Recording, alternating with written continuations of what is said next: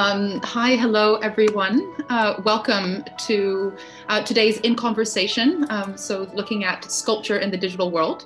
Um, for those of you who do not know me um, or do not know us, um, my name's Jen Ellis, uh, and I'm the co founder of AORA with uh, Benny Allen. Um, and um, um, AORA is a virtual gallery, members platform shop, um, and we combine art, architecture, and music with the aim of instilling a sense of calm, well-being, and discovery. Um, alongside our running our running exhibitions, um, we have this virtual gathering series uh, that's part of our exchange program. So every week we hope to bring together members of our community, either existing or new, um, with the aim of having interesting and dynamic uh, lateral conversations. Um, so, you know, thank you so much for joining us, no matter where you may be in the world. Um, we're ready already within the group of people joining us today as speakers. We have definitely three different time zones. I would say even four, actually. Um, so we really appreciate um, you being here. Um, we thought we'd kick off just by giving just a little brief explanation about how um, the idea of focusing on sculpture for this exhibition came about right?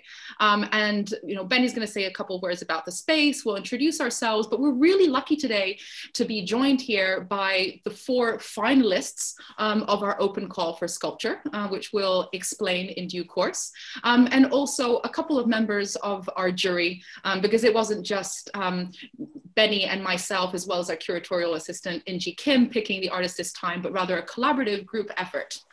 Um, so they'll say more about what each of them are doing, but um, maybe I'll start off with why sculpture, right? So this is AORA number three. This is the third exhibition that we've had since our launch in June um, of 2020. And one of the things that we realized was, okay, we're interacting with I don't know, like painting or drawing, you know, through images. But one thing that we're really, really missing is interacting with sculpture in a physical, dynamic way. We also noticed that maybe you know, creating sculpture, it might be more limited now in light of the pandemic with access to maybe different places where you can do that, but also the shipment is going to be harder. You also moving from place A to B is going to be more difficult. And we've always been about creating opportunities for display right? And so we really wanted to do was create an opportunity for sculptors to create and articulate their work in a digitally native space, ergo ours, you know, AORA. Um, we were also in tandem thinking about uh, the curation of the show um, and we were thinking about bodies and the idea that you know over the course of let's say the last year you know i i personally feel that i've become hyper aware about my own body because it's what i spend so much time with. Um, and whether it be in you know in essence but also in physicality of the spaces we inhabit um, but also our individual psychologies. So approaching all of this in, um, in an expansive rather than just like formulaic um, you know literal um, manner um, so we launched an open call in November and we were so, so thrilled um, to put together an incredible jury. Um, so we um, requested Ying Tan, um, who's with us here today. Um, Ying has just moved to the Art Fund, and before opening up the call to all of you, we were having a chat when she was, you know, previously she was at Future City. Um, then we were joined by Christina Chua, who's currently in Singapore. Uh, lucky to snag her before um, the two days before Chinese New Year.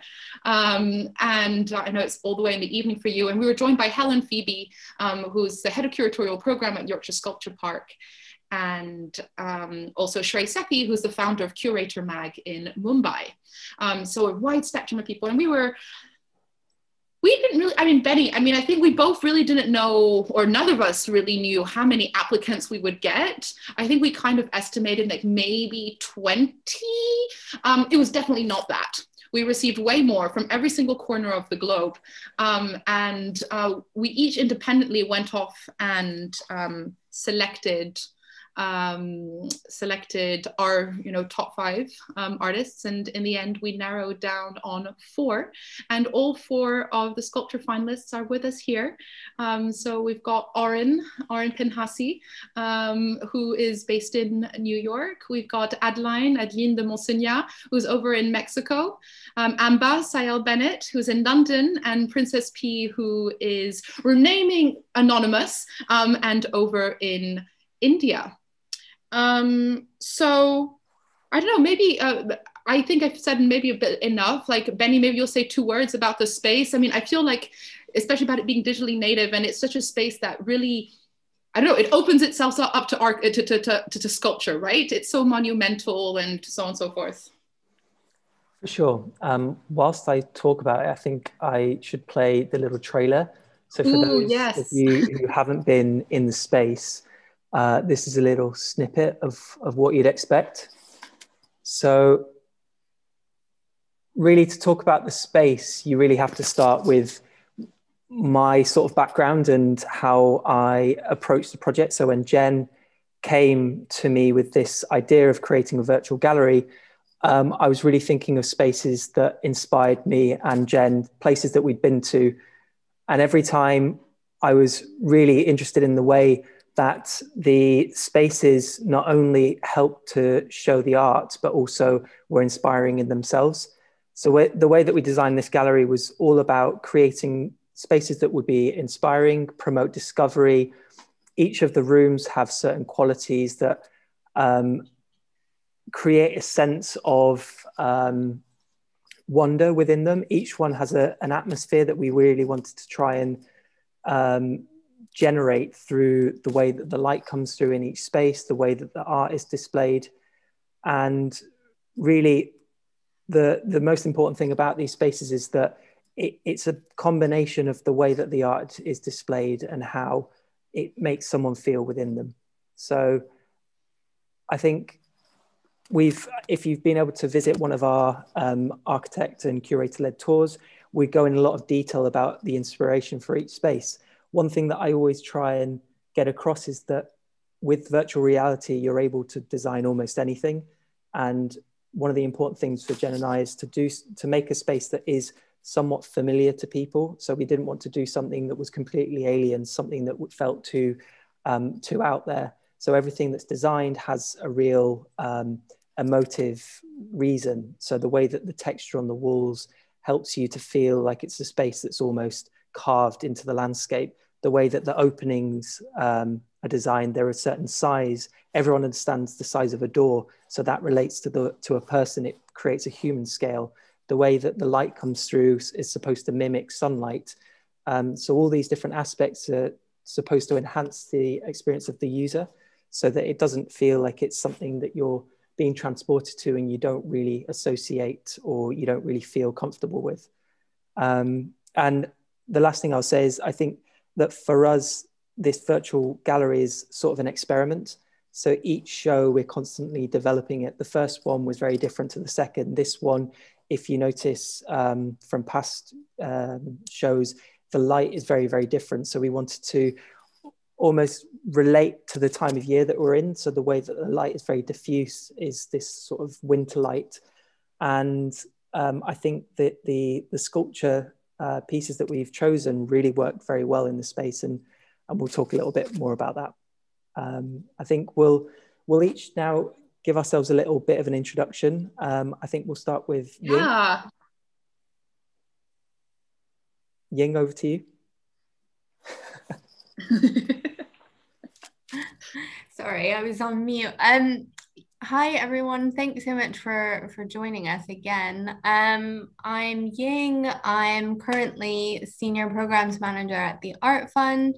Um, but yeah, like Jen said previously, I was head of public art at um, Future City, um, which is a placemaking agency based in London. Um, I suppose from um, a jury's point of view, I mean, it's always really interesting um, to sort of see what artists come back with and to see the, the sort of expansive wide variety of responses from artists um, as they interpret you know the the really i thought really thoughtful sort of theme of this um, of this exhibition.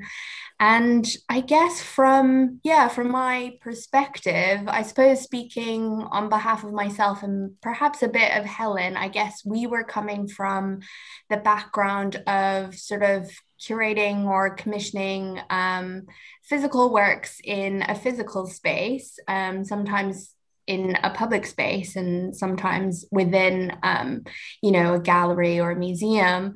Um, so it was really interesting and sort of pushing my own boundaries and considering um, all of these artist submissions for for AORA um, and I guess what I will say, um, just to round off, was um, it, you know, it, it's amazing that this particular space is sort of made in mind for the work that will go in it. I think a lot of times, you know, one thing is always set um, and is always sort of uh, immovable with respect to the other thing. Um, and what was really great about this process is that we can consider all of these aspects. So, like Benny was saying, you know, the light was very specific to these works for this space. And I think that's so particular about this um, this digital exhibition. So, yeah. Great, that's awesome. I think I should also say, and Jen can can talk a bit more about it, but what I found interesting in the way that the whole show was curated is that the the works themselves, these sculptures in particular, sit at the heart of each of the spaces, and then the things around yeah. them really work towards it. And I think that that's something really beautiful. And one thing I'll also say is that um, I love the fact that each time we develop a new show, we find surprises within it. So the things that you, because it's not a space that I can physically go to, every time I'm finding bits within it that I find really interesting, like the way that an artwork sits on a wall, or the way that the, for example, Amba's work sits in the middle of this piece of water, which you know we never imagined we put something in the middle. So for us, it's a really, really exciting opportunity. So every time we're, we're learning something new about our own space. Um, Christina, do you want to introduce yourself and, and talk a little bit about your experience being the judge? Sure. um, well, yes, I think um, it, it was an adventure exploring the nooks and crannies of AORA because there are these, you know, little porticos. Um, but for me, I think because I am the chief editor of, of So Far, um, which explores um, let's say experimental and digital new media practices. Um, I, unlike um, Ying, I quite, I was well adapted to, to the virtual space and looking at a lot of the submissions. Um, we had a lot of artists who were already rendering um, sculptures digitally.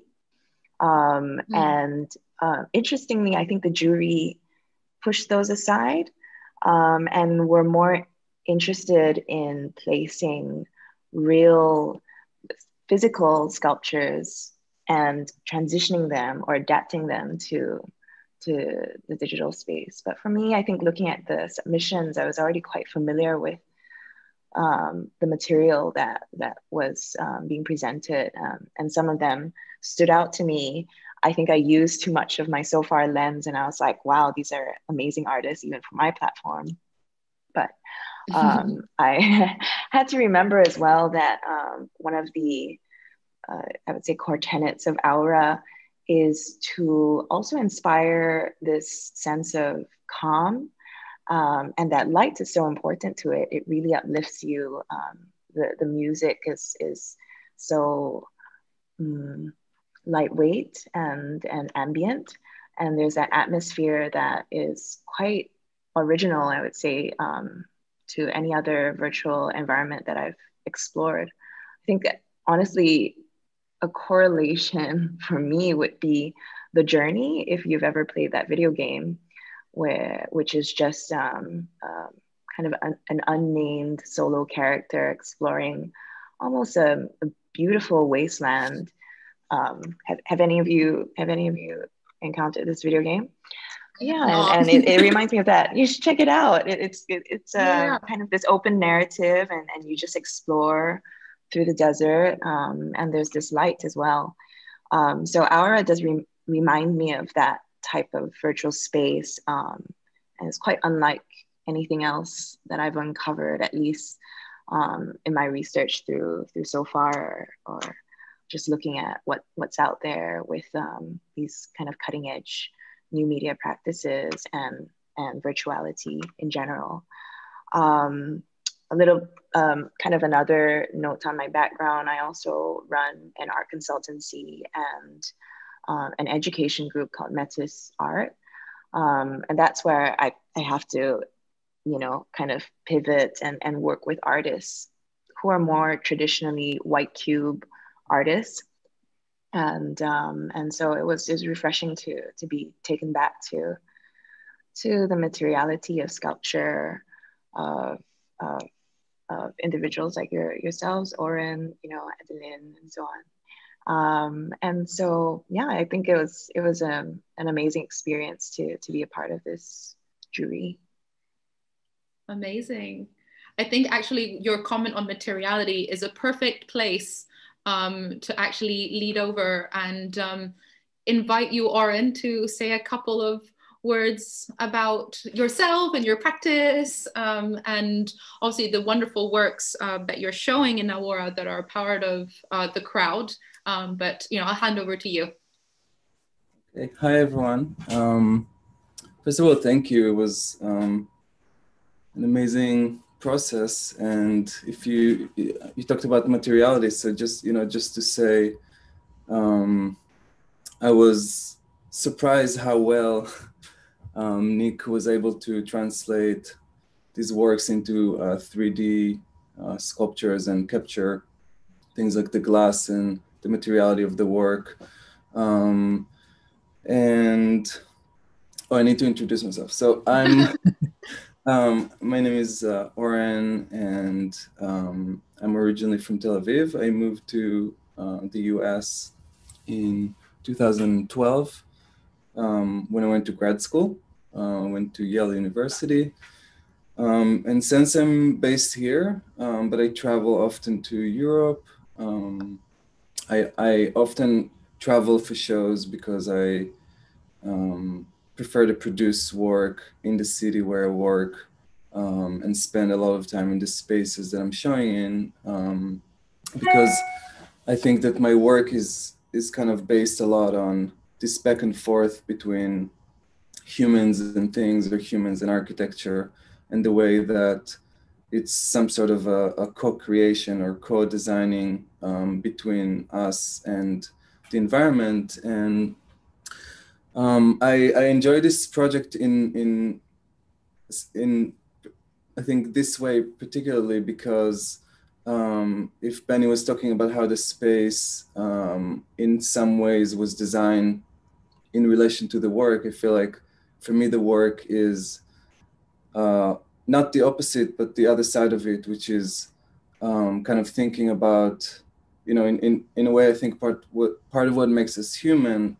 Sorry for the grand declaration of what makes us human, but um, I think of you know the the fact that we're an organism, but we're an organism with a body, and the word body is already incorporating the ability to see the body as an image um, and as a surface of uh, that, that is inscribing on itself um, the symbolic order or um, um, yeah i would say the symbolic order in that sense architecture as part of the symbolic order that we build but then in turn is inscribed into our bodies um, and so in this in this body of work especially i was concentrating because often i have installations that creates a whole environment um, this body of work was shown in physical first in uh, St. Cyprian Church uh, with Edel Assanti, the gallery that I work with in London, and then at the gallery.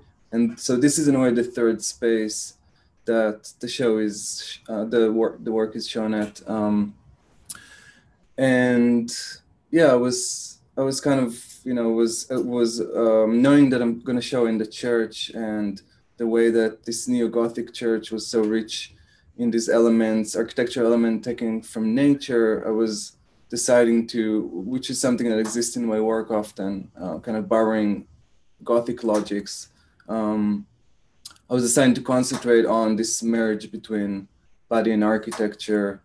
Um, part of it was the experience of, you know, the confinement of our spaces, um, but on one hand, and the expansion into the digital space on the other hand.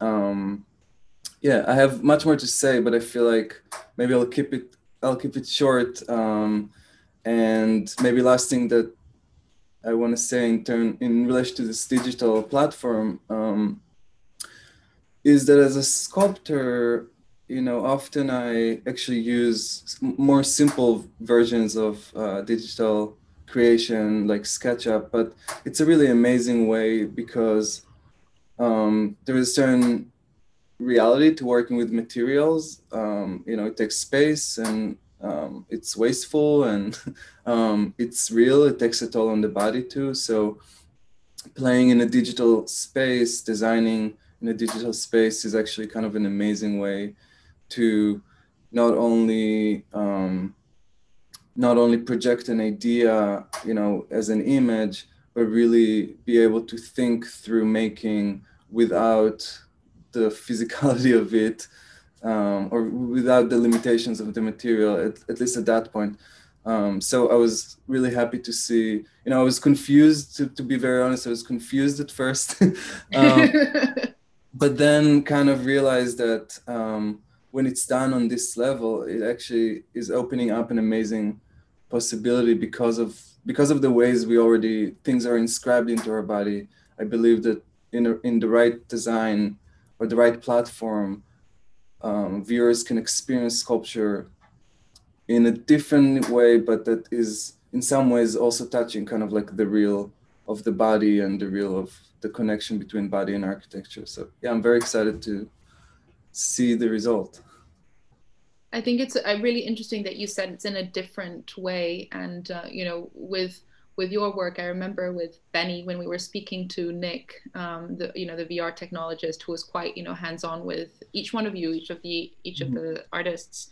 Um, we flagged him and we're like, Nick, you really got to work on the texture. And there, there, was, you know, some really, you know, interesting back and forth. And it was what was very interesting, Oren, and I, I've actually not shared this with you, but we had a catch up call with Nick later, and he's like, I could have taken even more time on that material. And it was just like him himself was like taking on this perfectionism of the like, and, and, and that's quite beautiful because his background is as a gamer, right? So it, it's uh, like a, a, gaming technologist. So that, that, that, that conversation that just started to happen, um, but it all comes down to care, right? And um, you know care respective of what your what your medium is um, and you know having an understanding of tactility and how tactility manifests itself um, in the digital world uh, which I think, you know, speaking of tactility, it's a really interesting point um, to introduce actually um, Adeline, um, Adeline, I say Adeline, Adeline de Monseignat, like uh, maybe you could tell us a little bit about um, your proposal, because actually yours is an entirely the digital connection has suddenly gone bad. Sorry?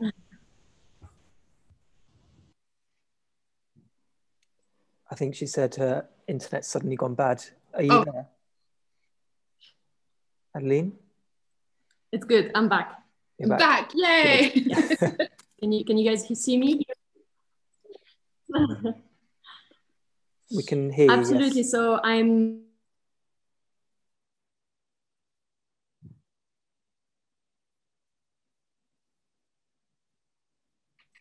No, I think she's no. just dropped out, unfortunately. Adeline, are you there? I'm, I'm here. Yes, I'm back. This obviously has to happen just as I'm about to speak. yeah, traffic.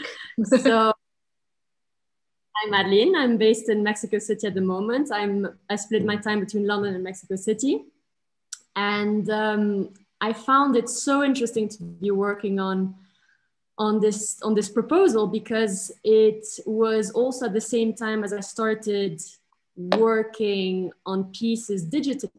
And I thought what Oren was saying is so interesting because as sculptors, what we tend to do is we go to we go straight to materials. We make it can be wasteful, and I find I found that working in a different way to start with the digital made it so that we could have a more sustainable practice in a way uh, see your work, imagine the spaces around, see how it how it breathes within the space, how the shadows hit it, how and it doesn't have to compromise texture at all. On the contrary, with Nick, we really I really pushed for him to to emphasize the, the tactility of the pieces because the, it's it's still covered in uh, a sort of velvet skin, so the tactility is really present in those pieces.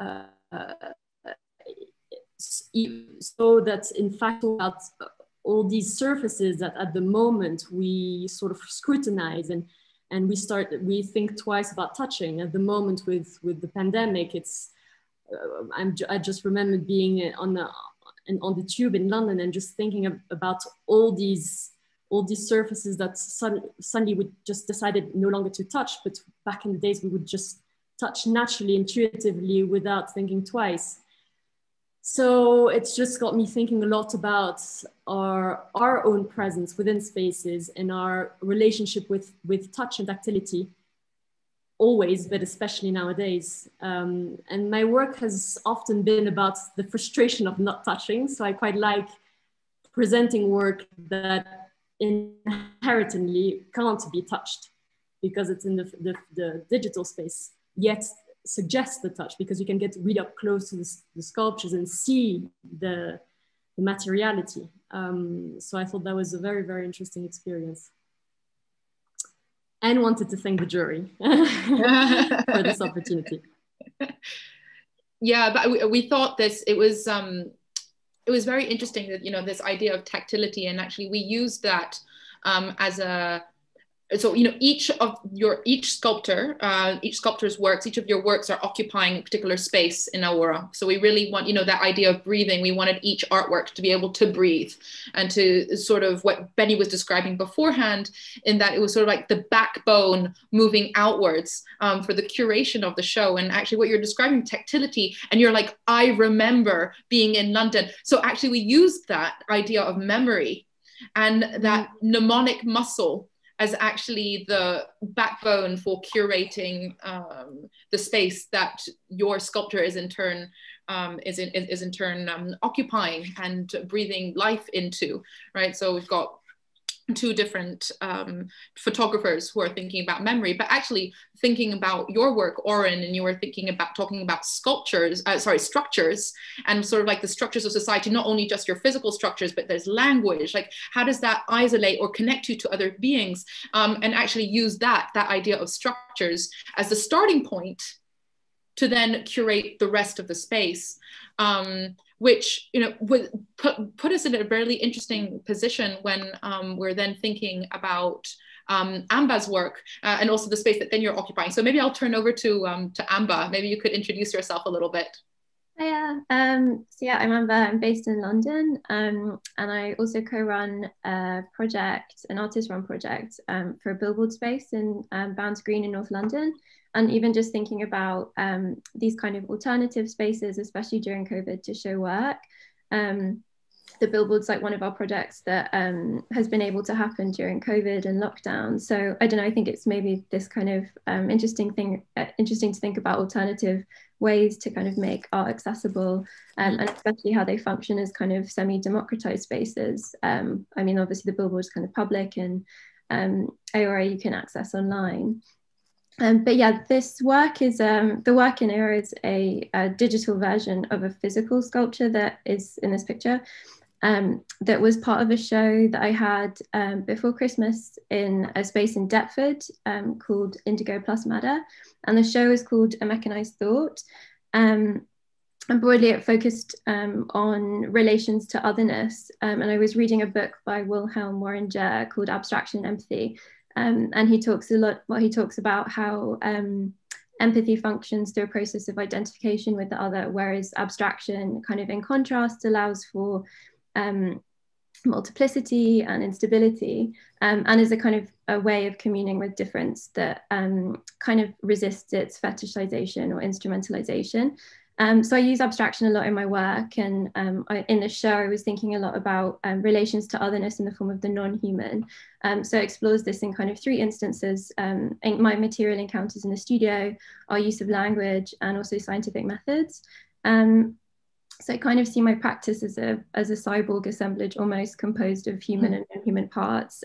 so whether I'm I'm using stencils, like in my works on paper, or Rhino, uh, which is a 3D computer modeling program, which I use to make these works. Um, it's always my body kind of working in conjunction with different materials or apparatus that kind of delimit parameters of engagement. Um, and so this work, Centra, kind of sits between um, like a vertebrae or a shedded skin, um, a vertebrae kind of being the body's information highway, and the skin, its kind of interface system. Um, so I'm always interested in how materials have agency in the making process. Um, and often how this results in a kind of hybridized aesthetic.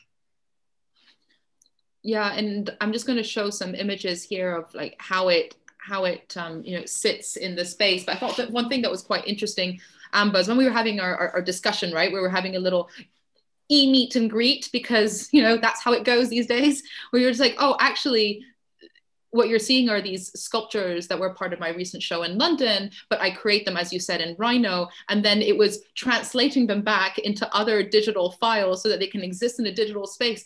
And there was that, that element of translation, right? And then we had that chat where you're like, oh, maybe the maybe the color of the blue is not going to be quite right. So we went back and we tweaked it. And um, you know, for Benny and I, we were actually having a thing. So when we were, we wanted to place it in the center of um, this room where we've never actually, usually it's just a pool of undulating water.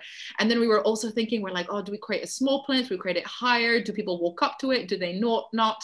Um, and it was quite interesting to create this, yeah, digital, then non-digital, then digital back, and then how do you have the digital encounter? But how do you make it something plausible? Um, and th these were all a bunch of discussions we were having. And then I thought it was quite beautiful how from there, especially when you're talking about materiality, actually as a use that as a launching pad to think about um, um, the corporal, so like you know, flesh, body, um, like metal, different types of um, yeah, different types of materials, uh, and it was actually from there then it introduced other artists into the room um, such as like Faisal Habibi, which was just like, oh my God, there's such a strong conversation here. like, so, um, um, whose work you sneakily see um, behind. But um, yeah, no, I think it, it's, it, it, it's, yeah, really interesting. And the idea of empathy, I think empathy is such an incredibly important word and feeling, and it trickles throughout the entire exhibition actually. It's not something i'd thought about but now that you say it i'm, I'm going you know i think empathy also is something that leads so beautifully um, into the work um, that you create right? Princess Princess Pea. I'm just going to go move over to it next. Um, I'll let you introduce yourself, but basically we created a separate hall for your work, connecting the work in hall one and connecting hall two and it, you have your own passageway where you have these encounters with these little figurines. But i'll pass over to you um, Princess Pea. Hi everyone. Uh, so i'm an artist based in india. I would like to talk about my anonymity uh, to begin with. I choose to work anonymously as it gives me an alternate space to operate. What began to find, uh, I guess, a distinctive identity and a unique perspective as Princess Pea in my early years, I have moved towards a more collaborative, time based intervention led practice within communities. Um, I've moved into thinking about politics and aesthetics of care, women led narratives of self and economies of domestic life amongst women and children. As for my experience in the di digital space, um, I feel uh, with everything changing, the viewing experience has to find ways to see, alternates to build community and share. And a digital space is an unknown area as the control over the medium depends on many partners. The tech support with issues of speed, you know, the speed of internet, accessibility, and even your geographical locations. And while on one hand, there is a way as we all have started breathing digitally, and our avatars are more connected with each other. But on the other hand, it lacks tactility. That's what we all are discussing here. Um, as for my process, um, you know, with the usual process and the, this one is quite intriguing as this is probably the first experience to view and recreate work in a space which only exists in cyberspace. It's a figment of mind and inspirational space which allows you to immerse yourself and view alone. I was wondering if we can visit the AORA space collectively. How will that work? Where does it exist? Which part of the world it'll be? uh, well, uh, I was very sure when I saw the uh, proposal um, because uh, the nakedness and the volumes are something which I constantly think about, responding to the cyberspace, which is infinite, with the infinite sculptures which I conceived. Yeah, I mean, that's what I have to say. I think one of the points there that you just mentioned about being able to visit the space collectively is actually something that uh, Jen and I have been talking about. So yeah. the, the way that the space is set up now, it's very much about the individual. And I didn't mention it, but the way that you move and navigate, the way that you move the keys is supposed to reflect the movement of walking. And so it's all supposed to be quite just the right speed for it to feel like you're actually walking through a space. So we don't, we're not very into the sort of Google Maps where you zoom through the space. Right. So that's that's one aspect. And I think the idea of actually collectively coming together is something that we will look at in the future so that you could essentially go with friends, um, with colleagues, and, and actually experience and be able to talk about the artwork together to try and replicate that experience that you might get in a normal gallery. Um, so I think that's definitely something that would be interesting. I think for me, Princess Pea, when we first talked about your work, I was really taken by the whole backstory of how the pieces are made. So yes. I wonder if you could tell us a little bit more about those. I took the liberty of including this, which I thought was so wonderful from your proposal. I hope that's you, but it was like thinking about yeah the pluralism of bodies. Anyway, but I'll just leave it there. Yes, uh, you know this. Um, I see this as an extension to my ongoing interest to find a safe safe space, and as um, a lot of narratives which come from different. Um, uh, uh, women and uh, marginalized uh, people I work around with, they need a space to speak openly. And that's what I felt that working with a group of people in village who are work, who are making these amazing handcraft uh, toys, uh, they also need a space to breathe and talk about, uh, and they need to step out of their daily hustle of life. And that's how uh, i saw this dream and this dream space which is almost like an inception. So you create a space within a space and uh, give them an opportunity and also an opportunity yourself to create more. Yeah. Yeah i mean i think it would be i mean i don't know if it would be possible but for the makers that make these pieces to actually visit AORA and for well, them to cool. see the pieces that they've made in the yeah i guess it could be possible. Because I think that's I mean you also talked a lot when we first met about how you you had you, you saw that an object that someone had made and then you had to spend months yeah. and months trying to search for the the specific village that this person came right. from that was making these objects yes so these are uh, this technique of turnboard in india is uh, you know a dying craft in the village and uh, no one like their generations to come nobody is interested so i was intrigued by this one uh, series of toys which they make in south india. And i always kept thinking that what if we use the same technique to make uh, more uh, sculptures? And um, i went around in these fairs which happen every year to find out the particular person who could you know who made a, a, a um, sample for me and uh, after many tries i found him and it was uh, it is almost like he they're almost like a family. It's a toy village. So it's incredible to go in there because every house they all are making these beautiful pieces. Uh, i work with one of uh, the families and they're almost they're like an adopt adoption like you know i can say that adopted family now. It's amazing. Yeah. it's amazing. What i find so interesting is how everyone's process is um, so incredibly different. And I think, you know, for you know Benny and myself and and, and Inji as well, like being a part of the process then of you know trying to honor um, your works in the plural and, and, you know and placing them in and then it must be really interesting you know for like christina and ying you know as on the one hand you know consulting educating but then also curating in a very how to say in, in a very you know real tactile way. I mean i've definitely found you know as i mean my background is as a, as, as a curator and as a gallerist.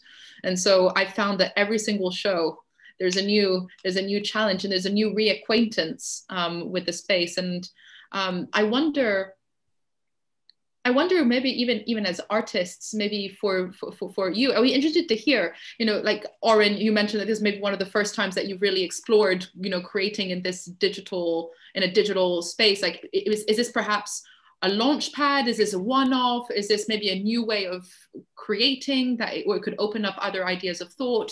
I'm interested, you know, for everyone, um, just you have to hear your points of view, but also from the point of view of, you know, Christina, obviously you're very versed with so far, but then maybe also Ying. Um, is this a stepping stone? Is this something to develop? Um, is this part of a further process of, um, of creation? Whatever that looks like to you. Whoever. Um, I, I can. Uh, okay, go ahead. Yeah, go ahead. So, go ahead, Oren.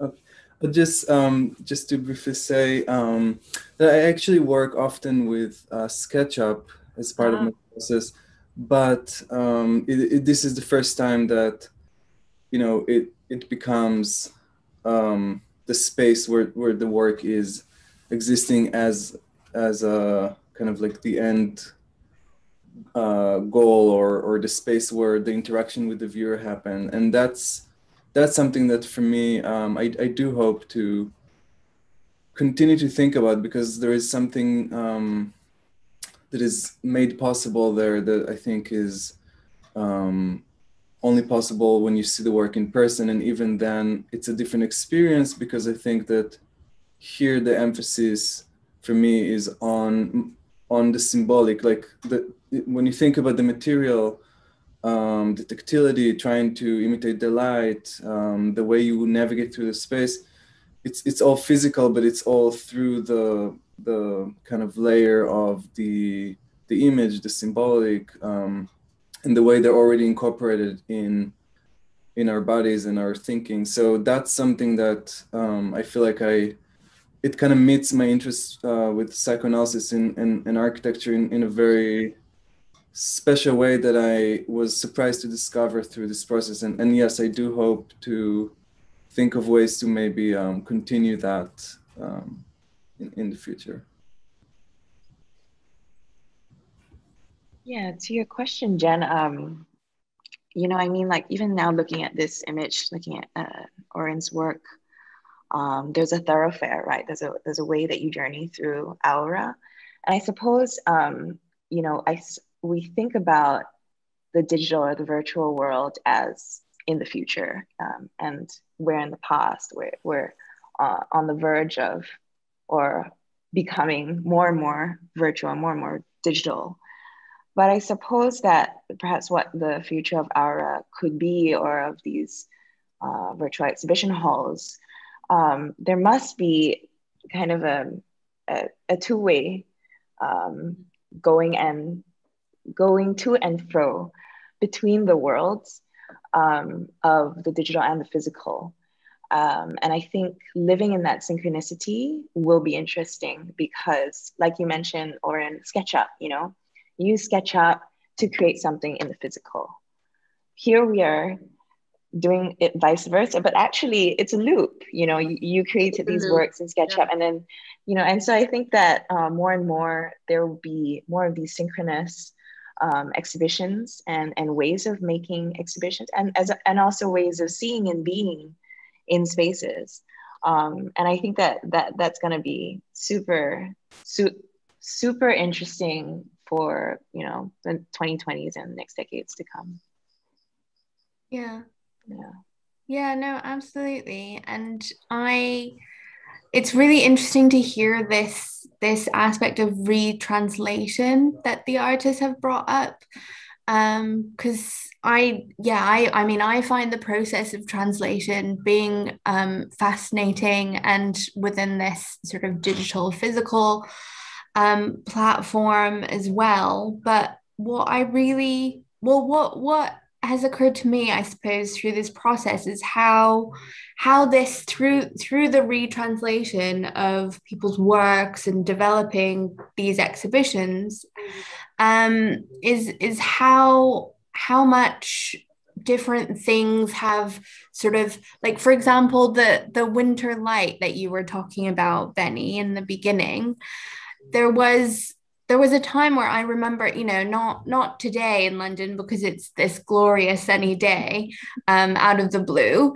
but you know, but you know, before this, when it was sort of endlessly grey, there was this feeling of like I was thinking to myself, you know, how how would you communicate this sort of unterminable greyness, which has has these different elements of of sort of gloom and and beauty within it. You know how how do we capture that feeling through um through sort of trying to express that um somewhere else?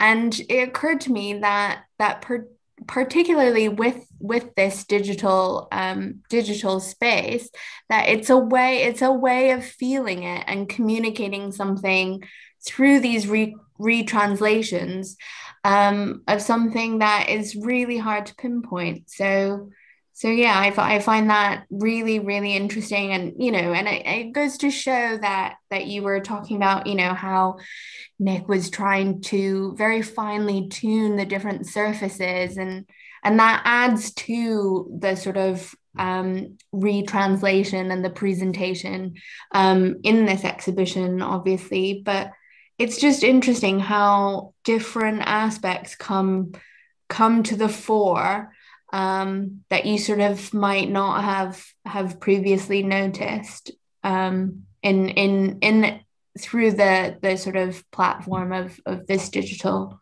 digital way of exhibiting physical works. I love your emphasis on feeling. So feeling is very much at the core of AORA. I mean, I didn't really talk about it at the start, but actually the original idea for it um, was uh, from a brief episode I had in hospital. And I noticed that there was art on the walls of corridors, but none in patients' rooms. Um, and turns out that both Benny and I in tandem had been looking separately, but at the at the the health relationships um, between um, architecture or art um, and you know our own neurological sequences and how it makes you feel good how it alleviates pain, how it reduces stress, how it improves your mood. And that was a that's a very big core tenet of what we set out to create because how do you infuse a digital space with a feeling and b create an activation of the senses and i think you know the activation of the senses comes down to you know carrying over you know what Amba has been thinking about, which is empathy. Um, it comes over to care, you know, in every single detail. Um, and yeah, I agree. Yeah, it's that that yeah that activation of the senses, whether it be through light. I mean, we've really not talked we've not talked that much about the music component, but what's quite interesting is that um, um, there's two composers for this show, and one of them in particular, she actually has a background um, as an architect, and she's thinking about the way music infuses spaces. Um, so she's a composer and an architect. So it's all about that multi-sensory um, feeling. And, you know, I think there's been a lot of discussion around the digital world, right? In the sense of, oh, a transla- in translation, but kind of translation as replication. But this is not translation as replication. This is translation as hopefully otherness, just something different um, which I think is something different, is something that uh, not to completely extrapolate, but I think it's something that um, Oren touched upon. But yeah, feeling, I think that's really important. And just kind of having a sense, you know, as opposed to over intellectualizing it, um, also just experiencing something. Yeah. Um, I just add to that that I think that what we've set out to do is not recreate the experience of any old gallery. And we also don't want to be seen as someone or you know a, a platform that's trying to replace art galleries. We, you know, we're very much about community. We like people coming together, hence why we do this. Yeah. And I think what's really interesting and what we want to try and get across is that AORA is is like what Jen said, is is something else. And it's something that I think I'm sure all of you artists will have noticed you kind of you might see your artwork in a very different way. And everyone sees and experiences and feels artwork, uh, art, um, artworks very differently from one another. And I think by putting it in a digital world, we kind of give something else. You might see, you know, one of Oren's work in, in a church, but actually you see it in this space and you'll experience it in a very different way. It will probably feel very different to you. So I think that's something that really, really excites us.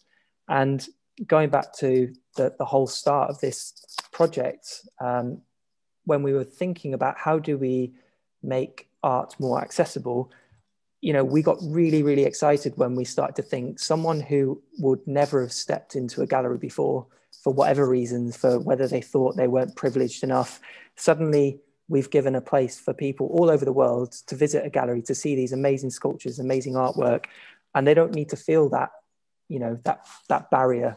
So we really really hope that by doing this and keep working on it that we will open it up to to people to inspire them. And um, yeah i feel very very proud and very excited by you know the the, the support that we've all had especially from you artists from from everyone that's coming to our talks because you know more and more we're sort of learning what opportunities we have here and um, I'd like to kind of open it up as a question.